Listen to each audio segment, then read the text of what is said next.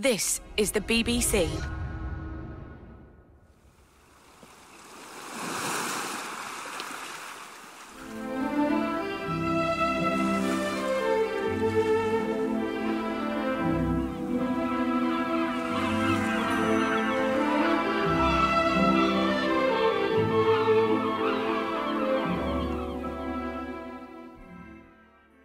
My castaway this week is the comedian Jimmy Carr. His default approach to life is swimming against the tide. In an era of relentlessly observational comedy, he tells tightly crafted jokes with proper punchlines. At a time when hoodies and trainers are standard fashion issue, he favours bespoke Savile Row tailoring. And as the modern media increasingly preoccupies itself tiptoeing around the sensibilities of society, he positively revels in the inappropriate, with his gigs punctuated not just by audience laughter, but sharp intakes of breath too. His work ethic is extraordinary, around 250 live gigs a year, plus a lot of TV. Comedy came into his life as Catholicism exited. The son of Irish immigrants, he was brought up in Berkshire, going on to study at Cambridge. But by his mid 20s, he'd experienced something of an early midlife crisis, throwing in his marketing job at Shell and giving up on religion too. He is clearly a thinker, but says there is no lesson to be learned from my shows, no takeaway aha moment. I'm trying to release endorphins by making people laugh. I'm not sending any message, and I'm not running for office. So, welcome, uh, Jimmy Carr. You've been doing stand up now for around about. What's wrong? You look. That's a great introduction. I don't feel like I need to be here. Just play the songs and I'll go. That's everything, right? You've been doing stand up for 15 years now. Yeah. Your tours have names like Barefaced Ambition, Charm Offensive, Gag Reflex, Repeat Offender. And yet you. you got to call them something. Mm-hmm. You say there's no message. To me, the message seems to be free speech is important. I don't think it is. I mean, I've got quite a dark sense of humour. Like they're edgier jokes, or they'd be seen as you know taboo to to some.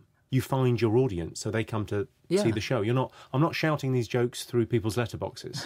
They've come to see the show. They're literally buying into it. You know, when they're taken out of context and reprinted in a paper, then there's a big media storm, and you kind of go, "Oh right," but then.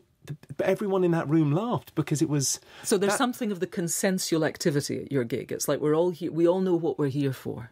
Yes, and you sort of learn early on never defend a joke because it's a joke. It's not a statement. Does it bug you then when, as as does happen? I mean, relatively often that that the press will take something that you have said at a gig and go to the group of people at whom it includes. Those people might be amputees. Those people might be uh, people involved in rape crisis centre, and say, "What do you think of what Jimmy Carr said?" Does that bug you when that happens? Um, not not so much. If you sort of believe in free speech, if you think I've got the right to say that, then they've got the right to be offended.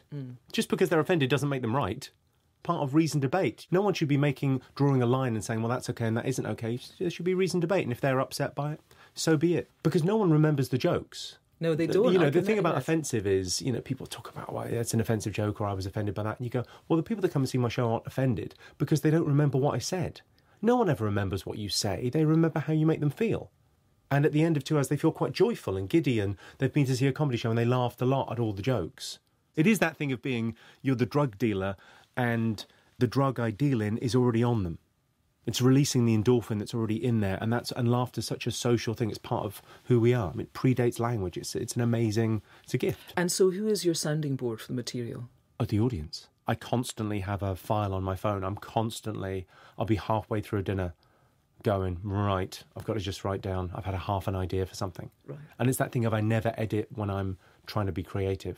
Always write. Never refuse the muse is the line, isn't it? You Yeah. you just if you think anything might be funny, write it down. Let's hear your first one then. What, what are we going to hear? Kanye West stronger. It's just so positive. I don't think there's any other gift in life as good as having a positive disposition, being a happy person. And it hasn't always been that way, but I'm, I'm a very happy person. I don't know what he's talking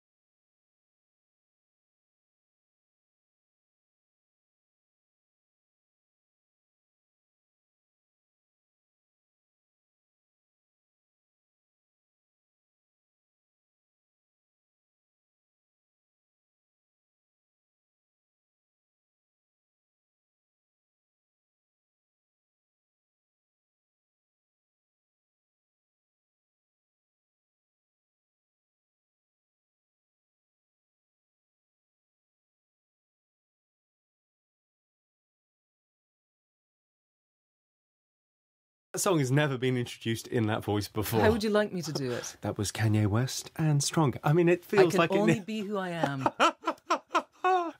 Um, the summer of 2012, you'll remember it, of course, you were embroiled in a big tax scandal. This was front page stuff. Even the, the Prime Minister, David Cameron, made a statement on it. Um, you'd taken part in this tax avoidance scheme. It wasn't illegal, but by many people's estimation, it was immoral. You didn't make a joke out of it at the time, which was interesting to me.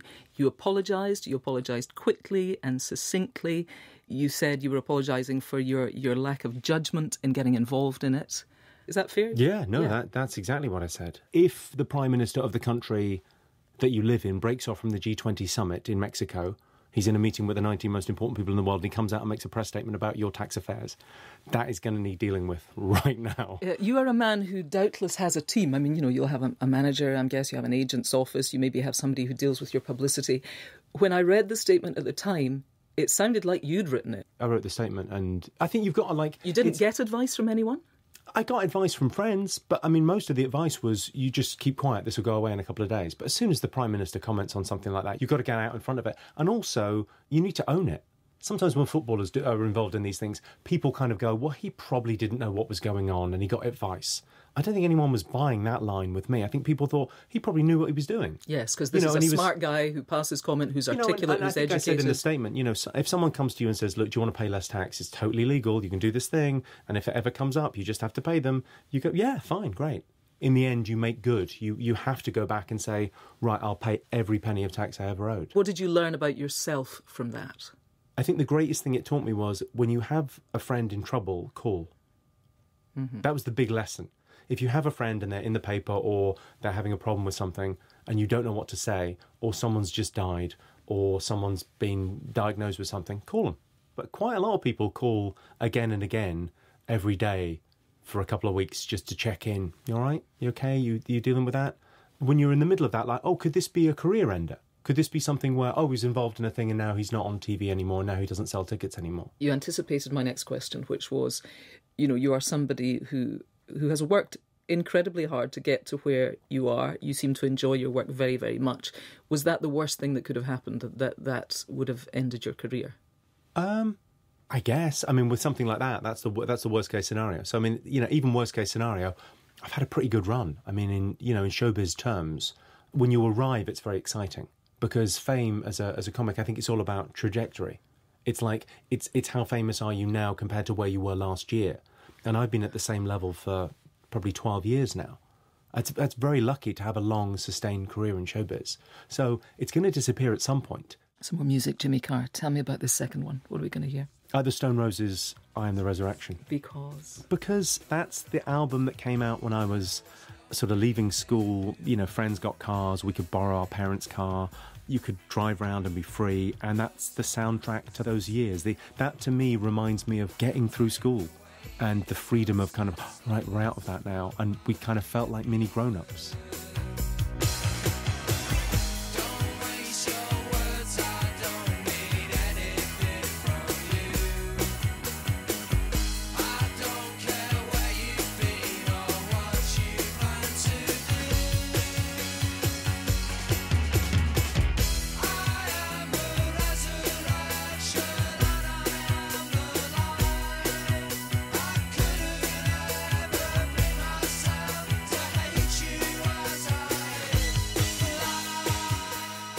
That was the Stone Roses and I Am the Resurrection. I feel very self conscious now when I'm back announcing these pieces of music, Jimmy Carr. I feel No, like it's, it's, yeah, it's lovely. You were born in 1972, the middle son of three boys, born to Nora and Jim Carr. How much humour was there in the home growing up? My mum was incredibly funny. Was she? I mean, really, genuinely a very funny person, and not in the way that I'm funny with jokes. I mean, just funny bones. Can you give me a flavour of her? I think it's fair to say she swore a lot, like a sailor. And like the stock phrases of like, if you ever paid her a compliment, if you ever said, oh, you look well, she'd go, I look like a whore at a christening. right, okay. I mean, I think you look nice. Uh, but, and she was just, like, she really kind of lit up a room. She was kind of a larger than life Irish lady, a beautiful voice, and, and really, she was extraordinary. Obviously, it's your mum and you think she's special. But lots of my friends were friends with my mum quite apart from me. I remember coming home from university and my friends, sort of Jared and Giles, would be round having tea with my mum. I would go, well, what, what are you doing here? I was just hanging around. Did she have charisma? Yeah, like a like a ton of charisma. And they were from Limerick, your parents. Did you go back there much? I go back there now, and, and Do you? And I go back to Ireland a lot and play a lot of gigs over there. I'm quite proud of. Uh, I've got an Irish passport, and you know, when I was growing up, I was very aware of being in an immigrant family. The sort of late seventies, Yes. and The bombings, the time of the bombings in London. And yeah, I, was, I re- really clearly remember an incident of someone sort of saying something um, racist to my mum and a newsagent when there was some IRA bombing or Yeah, something, and someone yeah. said something very sort of negative to my mum, and sort of feeling like, oh, we not like everyone else. And that, on the one hand, that's you know a negative thing, and on the other hand, it makes you feel very special. And a Catholic family. Where was Catholicism in, in the family? I mean, were you very Well, regular? mum was very religious. We'd go on a Sunday, but not every Sunday. And but what- it was around, and and I believed in the magic. But I believed. Were you were you an intense little boy? Yeah, I think so. I think I was a little bit, yeah. It's an odd thing. You can't really change people's perceptions of who you are. And I'm aware of how I come across now and how I appear. Right. It's it's weird when I look back at my childhood and you know that that song representing kind of leaving school. School was not easy for me. I couldn't read until I was about sort of 10, 11 with any level of ability. I mean, I just I just couldn't. And I was so fearful of getting up in front of the class and reading something out. I think the perception would be, oh, it was very easy for him. And the quick thing in an interview and even in the intro is, oh, he went to Cambridge. You go, yeah, the, the struggle to get there, though. And tell me then about your next piece of music. We're going to hear your third. This is Paul Simon, The Obvious Child. And I used to go to the Slough Record Centre every Monday with my mum, and we would buy records together. It was on the Farnham Road in Slough. You could see the Mars factory from there, and the whole world smelt of chocolate when I was growing up. We would go and buy records, and then we would take them home and we would play them and dance around the living room. And it was a real kind of ritual of kind of going, right, what are we going to get? And I really, really remember in our house getting this song home. And, and weirdly, even now when I dance, there's a real family dance. We have a weird little groove shuffle thing that my mum used to do. That and that's exactly how I dance now. It almost makes me.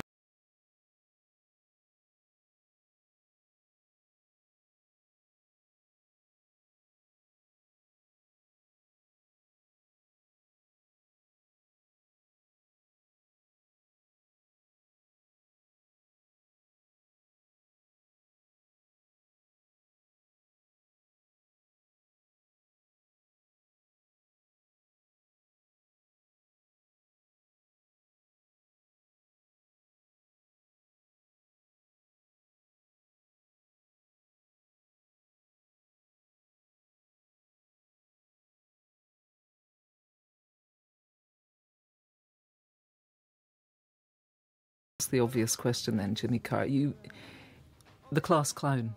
So the cliche goes that it all begins in school with comedians and that they win people round by making jokes in class. Were you that little boy? Um, I don't think so. I think if my school friends were listening to this, I don't think they would think, oh, well, yeah, he was much funnier than everyone else. You, you said to me a moment ago, I was 10 or 11 before I could read a book properly, and, and most people would say, well, you know, I was a dyslexic kid. You notably did not say that. I've been diagnosed as having dyslexia, but I sort of think you get to choose your narrative in life.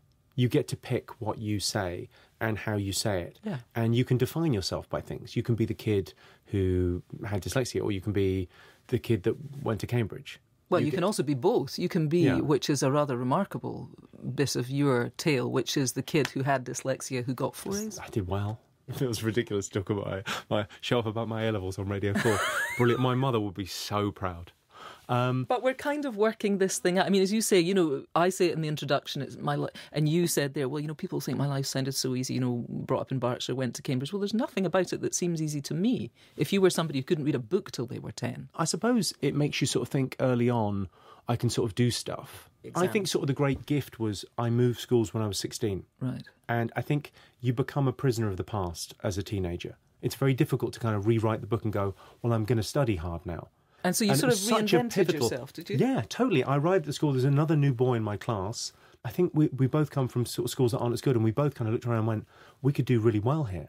And then there were two teachers that absolutely saw it. There was a guy called Mr. Clay and a guy called Mr. File that went, oh, you guys are really bright. You could do incredibly well. And we went, no, what? what who are you thinking of? And they went, yeah, no, you'd be fine. You apply to Cambridge, yeah. it was interesting that thing of like self belief. It often does come from someone else going, "You're going to be fine. Just do this." But such a pivotal thing. Let's have some more music, Jimmy Carr. Uh, it's time for your fourth. I was obsessed by music when I was at college, and You played guitar and you sang in a band, right? yeah, all of that kind of stuff, and, and really bought a lot of records. And the Pixies were a band that kind of carried me through, and I always thought they were just an incredible group. And this, this song, it's quite a hard song. It's where Kurt Cobain got the riff for "Smells Like Teen Spirit," and it, for me, it just kind of reminds me of all my kind of college years.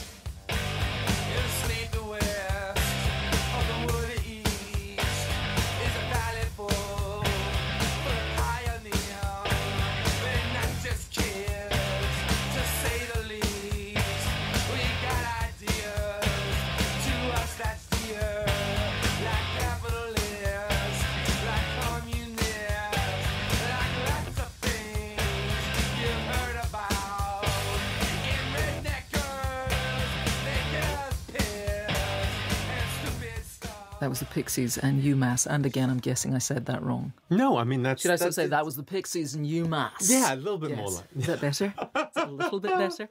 Um, great. so you studied political science at Cambridge. What you, I did, yeah, social and political science. It was a bit like doing a general knowledge quiz as a degree. what are your strongest memories of your student days? I'm guessing it's probably not the studying. Yeah, I mean, I did okay. I, I think uh, I probably could have done a little bit better if I'd worked a little bit harder in the last year. But I mean, you're kind of busy, right?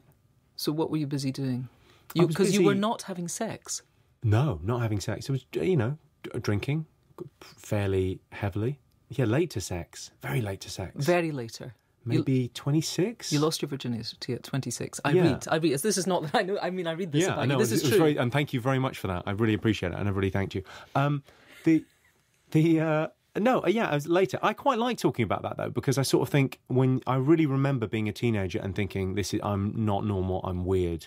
I think maybe the religion playing into it, and and not meeting the right person, not meeting the you know, I don't know. You say you don't know what that was. That, that's that seems odd to me. I think I was a little bit kind of repressed. You took your religion at its word.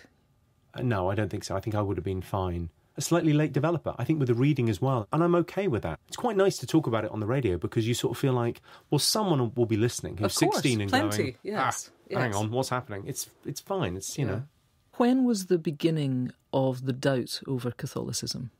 it was probably at college it started.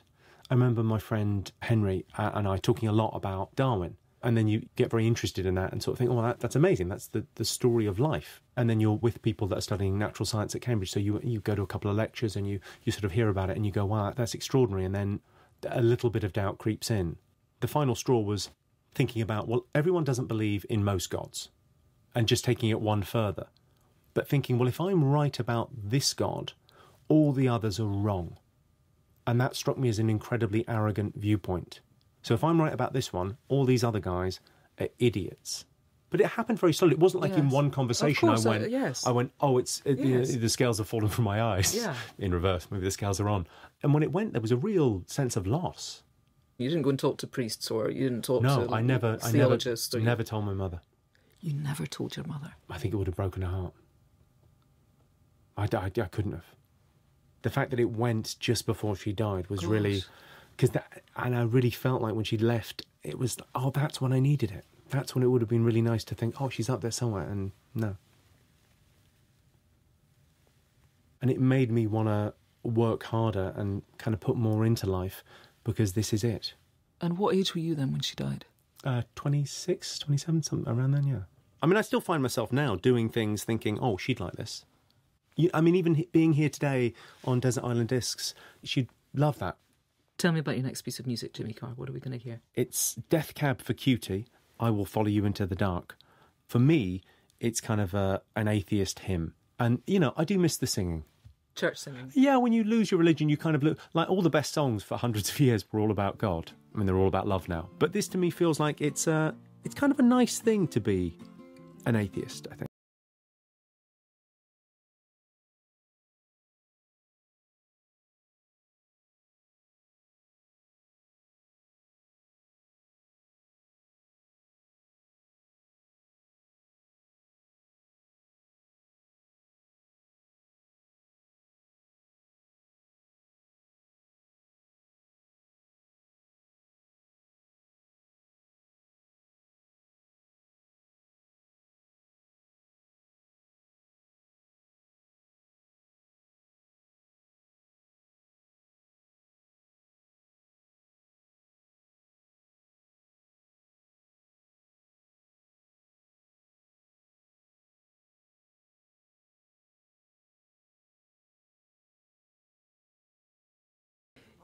Jimmy Carr, I'm I'm so interested in so much of what you've just told me, and I'm very interested in this idea that you you abandoned a life, and it's a life that, that a lot of people. Well, you'd worked hard enough to get there. You know, you'd got your degree. You got. I'm sure getting a job at Shell was a big deal. I'm sure it was a really pretty well rewarded job. I'm very keen on, on quotes, and there's one I really like: "The good is the enemy of the best." And I had a really good life, but it didn't feel like it was all that I could be. So the courage to tear it all up, the courage to say, I put my religion to one side. I'm going to pursue this thing that, by anybody's estimation, it's a long shot. It seems like looking back now a terrifying decision to leave my job, but at the time I just thought, well, I'm so miserable here. I just want to get out. But you yourself have described it as a sort of early midlife crisis. It's interesting. I like talking about being sad. Oh, I was sad at that stage. Yeah. Because I think the term depression is really it's overused because people talk about being depressed when actually they're sad. If it's circumstantial, you're sad, and there's much more stigma to being sad than being depressed. Mm-hmm. But being depressed is a real thing. It's a chemical imbalance, and the people that have got it, it's always dismissed as oh, just cheer up, mate. I didn't suffer with with depression. I was lucky. I was just sad, and if you're just sad, you can kind of you can do something about it. Can you tell me what was making you sad? I was kind of bored of my life. It's so simplistic on one level that I was sad, and then I thought, I know what'll cheer me up jokes. I mean, I want to believe that. Is that true? Well, it's almost, I mean, I went and did loads of therapy. I wasn't interested in why. I was interested in what can we do now? The fundamental question with all the therapy I did was, what do you want? And that strikes me as the most important question in life is what do you want?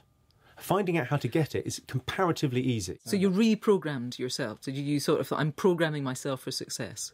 Not even for success. Looking back now, because of the way things have gone, it looks like I left my job to be on TV presenting game shows. Well, and, that doesn't and, work. You can't do but that. you, yeah. no, I left my job to go.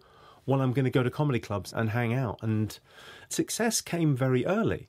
But success very early. I mean, that's success, the thing. It but came... success doesn't look like people think it looks. How does it look? Well, success for me was the comedy store in Leicester Square, and I was doing a 20 minute show, and I got paid 200 quid. And then there were three shows that weekend, and you could double it with the Banana Cabaret in Balham. And I went, right, fine. I'm absolutely fine. And I'm making money off my wits. I mean, quite literally. I just thought, well, that's it's absolutely fine. Everything else is gravy. Did you ever s- suffer nerves or self doubt? Yeah, but what's the great line? Pressure is a privilege. If you're dry heaving by the side of the Tonight Show set, going, I've got four and a half minutes to make it in America, you're on the Tonight Show. Come on. Have you done that? Yeah. How, the, did, how did it go? Amazing. To be clear, the sort of dry heaving, you were at the side of the stage dry oh, heaving. yeah, I mean, yeah. 100%, yeah. Uh, but you can easily lie to yourself and just go, oh, I was really excited about that gig. Remember how you couldn't eat for eight hours and you got sick a lot? I love being excited, me. it's time for some more music, Jimmy Carr. Tell me about this. Belle and Sebastian, The Boy with the Arab Strap, is the song that best sums up my Edinburgh experiences. And I started doing comedy in London on the circuit. And then I, I, I heard about this thing called the Edinburgh Festival. I was vaguely aware at university of people going to Edinburgh in the summer and thinking, but it's not sunny. Go to France. It's really sunny. What are you doing? And, and just being totally unaware, being really ignorant of that. Uh, maybe I didn't listen to enough Radio 4 growing up. But suddenly then discovering Edinburgh, going up there for the first time and doing these new act competitions and going, oh, this is, oh, like, like a paradise, like an absolute paradise. I'm kind of out of it now. But those years were just incredible. And this song, it was just always around. And for me, it really summed up Edinburgh.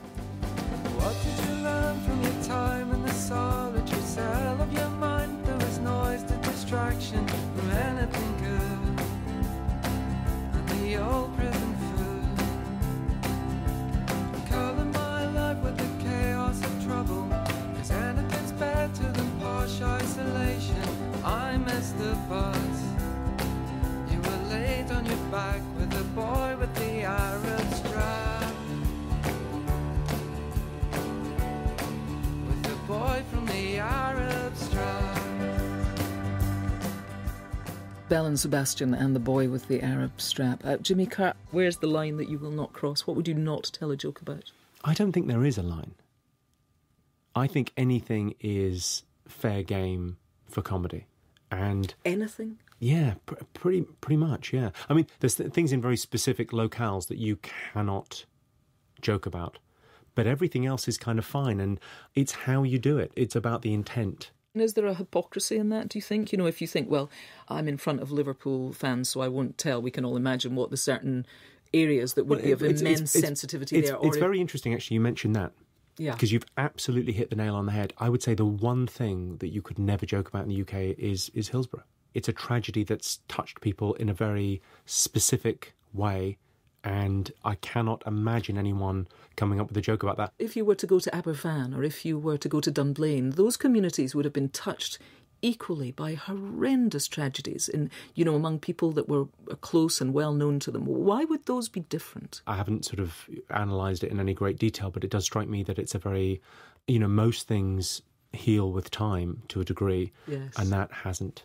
You can joke about religion, and I do often, and you can joke about death, you can joke about murders, and you can joke about disasters. And if comedy has any purpose other than the the obvious social, it's remote tickling is what laughter is. You know, you're building a social group. But if it has any purpose, it, you know, it does help people cope with stuff and and you know make it okay. Let's have another piece of music. Tell me what we're going to hear now. Should we have the Killers? Let's have that. uh, when you were young. It's a song that just really reminds me of kind of being on the road. It was kind of my walk-on music for a lot of years. The opening eight bars of this is great to walk on stage to, but also was in the car a lot. Was you know traveling up and down the motorway, and the lyric of it just seems to be about looking back when you were young and where you've ended up, and would you be happy with that? And I think I'm, I'm, you know, it sounds smug, but I'm really pleased the turn that I took to to do this with my life. Seems to be working out okay. Yes, all right, man.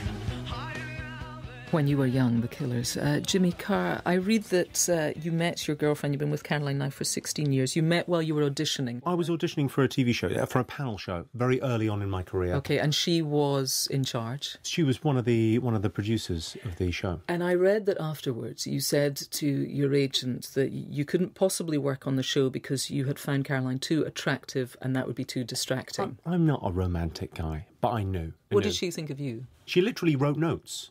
So well, she was auditioning, so she wrote notes. So we have the notes of what she wrote. She said I was a I was a one note comedian uh, with the eyes of a sex offender. Is what she wrote. She actually wrote that. We still got it. She did not know. I knew, and I met her and just thought this is just. It just felt like it. It felt perfect. How did you win her round then? I, d- I think she only came out with me because uh, her boss, I I now know, she was reading my emails to her out loud to the office and going, Shall I go out with this guy? And her boss went, Well, it's a free meal. I mean, you know, you're not making a fortune. He'll buy you dinner. He seems nice enough. Does she come and watch your stand up ever? Yeah, she used to come an awful lot early on and do a lot of notes, and she didn't come as much now. But then it's you know it's it's partly to do where, with where I am in the cycle of the tour. So if I'm doing a new tour, she might come along and sort of see one of the preview shows, and you know what about that and what about that. She's always got kind of interesting notes and ideas on structure. Are you somebody who plans to always be working, or do you think is there an end game when you think you know when I've saved up enough money and I've I've bought the yacht, I'm going to stop? No, I would I would very much like to die with my boots on. Would you? Yeah, I've got no intention of stopping. The old And- sort of Tommy and- Cooper. You want to be there. You want to be on stage, and you want to. Yeah, hundred percent. Ken Dodd. Yeah, do it. I think if I wanted to stop and play golf, then I should have been a golfer. This is what I love doing. I love this life. You spoke of yourself at 25, 26, that pivotal moment in your life when everything was fine, but you didn't love it. You weren't present in it. You weren't engaged in it. And you seem somebody who is viscerally present in their life now. The first ten years, it was almost thinking about it like it was a footballer's career and thinking, look, I've got a little window here. I felt like so old when I got into it. I felt like 26 was so old because people start when they're at college, and I felt like I've got to catch up. I never wanted to look back and think, I didn't really work hard enough. I didn't really give that a, a go. If I was going to fail, I, d- I didn't mind as long as I put everything into it. How on earth are you going to cope on this island? No people to entertain in auditoria, no girlfriend. The thing about being a stand up comic is it's training for a desert island. I think I did 32 countries last year. And most of them, you know, traveling on my own, going there doing gigs. You spend a lot of time on your own. You have to get good with your own company. I think I'd be all right. I mean, you know, dead in a week, obviously, same as everyone else on this island, but Tell me about your eighth disc, Jimmy Carr. What are we going to hear? I think this is maybe the best pop record ever. It's partly about having friends over and this being on and feeling like, oh, this is like a dance floor filler, and I'm going to do my little dance like my mum's dance and dance around the kitchen, having fun with friends. It's partly about that, and it's partly it's a love song, and it's the kind of love that I've experienced. I think I've been very lucky that it's been fun. It's a really upbeat love song, and most love songs, especially on this show, are quite melancholy. There's a lot of ache, and I'm not a big fan of the ache. I'm a big fan of the fun, joyous party. So this is, yeah, Beyonce Crazy in Love.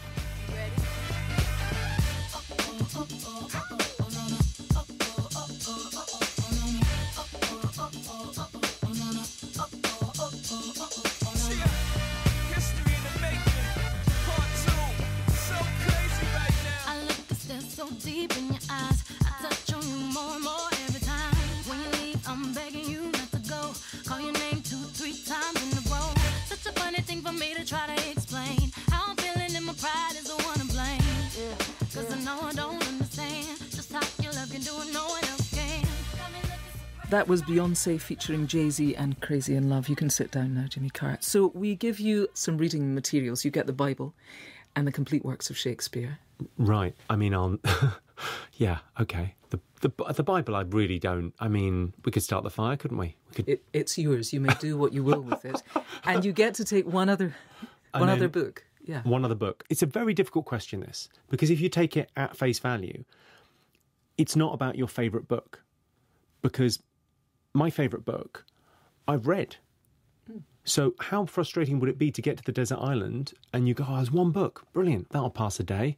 And then, oh, I've read this. Like, it would be Raymond Carver's What We Talk About When We Talk About Love, it was favourite book. But Wow. I don't think I would take that Okay. because I know it and it's great, but it's I've read it. I would take the Oxford Dictionary of Quotations. Okay, that's yours. You're allowed a luxury too. A luxury. Now, this makes life uh, more enjoyable, more bearable. It's got to be something that isn't too useful. I've got a, a, a strange relationship with coffee. I love coffee. I started drinking coffee very early in life. I used to get given a bottle of quite sweet coffee in my cot when I used to go for an afternoon rest. It's terrible parenting, but you know, it was the 70s. It was a different era. And uh, I would take a coffee machine. You may have that. If you had to choose just one of these discs to save, which one would it be? I think it would be the Death Cab for Cutie. I will follow you into the dark. It's yours. Jimmy Carr, thank you very much for letting us hear your Desert Island discs. Can't believe your luck.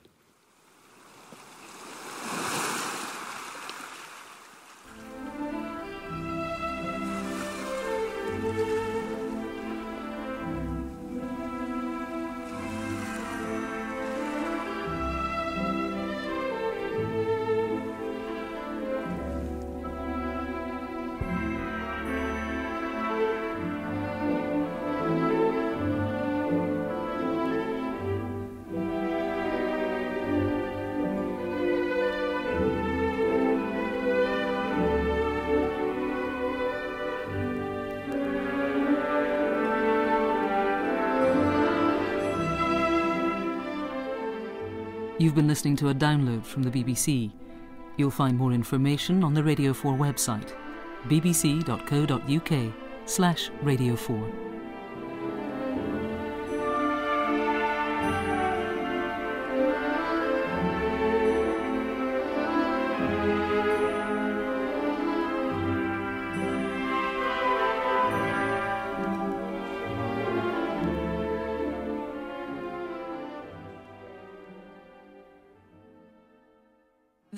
Is the BBC.